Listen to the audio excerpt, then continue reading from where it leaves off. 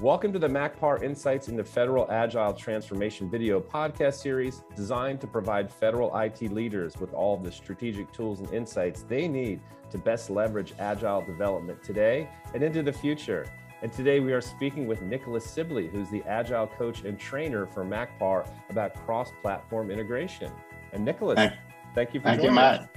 Thank yeah. you, Matt. Great to be here.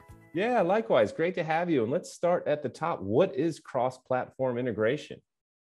Cross platform integration usually involves multiple teams trying to reach across several platforms to reach the entire product line. So, what happens is each of these teams has a piece of the puzzle to deliver, but they must deliver them in a cadence. That's why we use PI planning product increment planning. That means each team must arrive at their product increment with their code in place or front end, all the teams that are required to produce the product must have everything in place at the integration point so we can test to make sure each piece of the puzzle works fitting together. This is done many times before the product is released so that everyone can see how the product works and, and have insights into how it could work better for the next product increment. That's great. Let's dive in a little bit deeper on that. So, when you're working with multiple teams in an agile system, how do you really make sure that each team is integrating?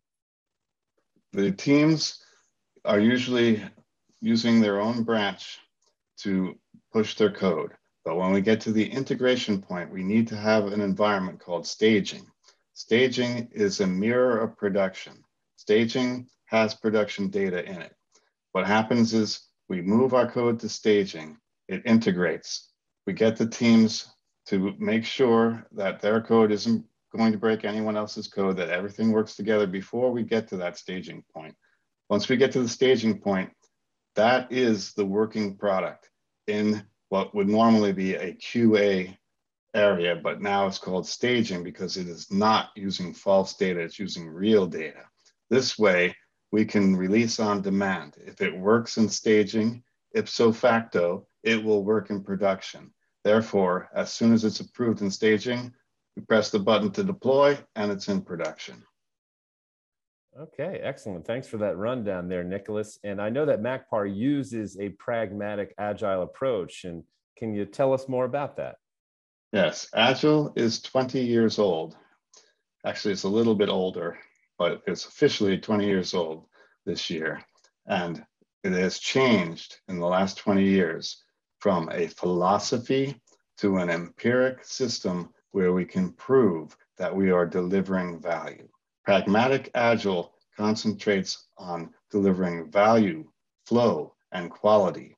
These are the three tenets of lean, which means we must show the customer that we are delivering value at a incremental basis so that they understand that they're getting what they're paying for.